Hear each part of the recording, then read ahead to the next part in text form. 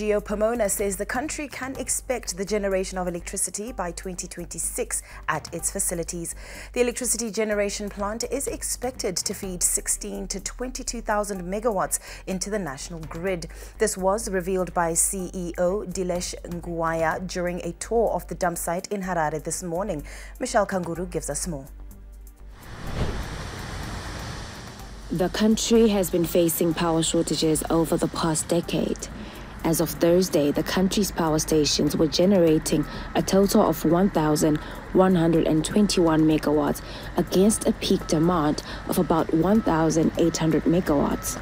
Reduced water levels at Kariba and other non functional stations have been a blow. An alternate energy source, commonly referred to as waste to energy, might just be part of the solution. Construction a project in the 5 years.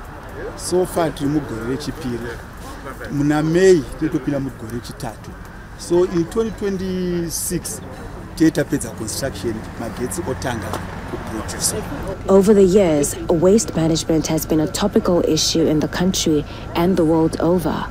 Global warming, climate change, air pollution, and wildfires are only some of the problems that arose whenever Pomona was mentioned. The question has always been how can waste be managed in a way that is environmentally sustainable? So with this um, encapsulation process, it is the best um, way of managing solid waste, actually existing um, solid waste, because remember we are saying this is waste which has been here before. But how best can we manage this uh, waste so that we can improve the environment and it can look uh, um, aesthetically good? The company is building a sorting plant in order to separate waste into reusable and disposable material. Hierarchy of waste management means you should reduce, you should reuse, you should recycle. For this reason, we are under construction of the sorting plant, which is the structure is was done this month with uh, we finished, and equipments are coming, are on ship, and for two three months, equipments will be here, and we we will separate all the recycling and non-recycling material. There has been significant development at the dump site since its commissioning in 2022. Geo Pomona says the only setback is that not enough waste is being dumped at the site. geo pomona ine solution yekuchenesa guta semagara makaita mese makurira nzvimbo dzakasiyana kudhara harare chitanga yanga yakachena. Maona iko zvino yazara nemarara asingaiti. Ekuti kudzimba papi pamunofamba marara akazara. Sejopo muno taya nesolution no.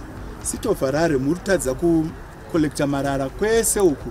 Kuda kukubatsirai kukolekta zvese nekumaneja marara achiva papomona kuti guta rigare rakachena More than any other time, waste management systems have become an integral part of service delivery.